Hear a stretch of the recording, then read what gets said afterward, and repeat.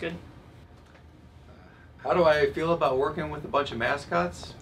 It can be interesting. They don't talk, so it can be awkward. They only really communicate with each other, so it's kind of hard to tell if they actually like us.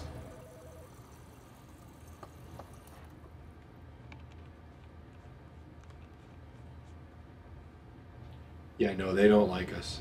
Hey man, what a long face? They each have their own personality, Hey man, can I borrow some scissors? but sometimes they kind of act like the animal that they represent. I'm not sure if that's normal or not. Thanks.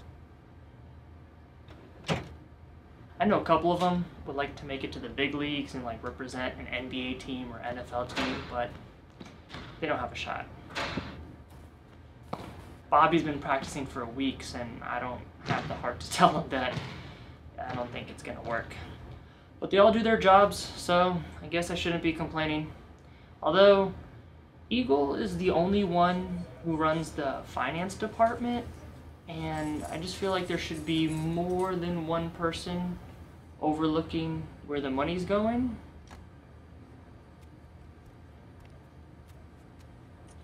All in all, I'd say things are fine. They actually do a performance for us every month in the cafeteria. They have a metal band called Ched. Did you say a band called Ched? Yeah, they're in a metal band called Ched for cat, horse, eagle, dog.